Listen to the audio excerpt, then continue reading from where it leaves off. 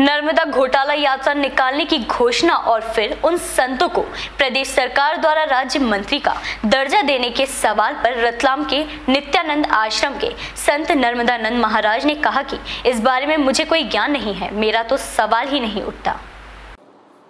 उन्होंने कहा कि राज्य मंत्री बनाने की अभी मेरे पास कोई आधिकारिक सूचना नहीं आई है।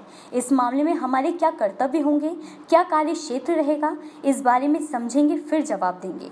कौन क्या करता है? इससे हमारा कोई लेना देना नहीं है।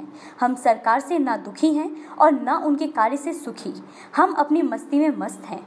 राज्य मंत्री का दर्जा मिलने के बाद नर्मदानंद का गुरुवार को पहली बार रतलाम आगमन हुआ था।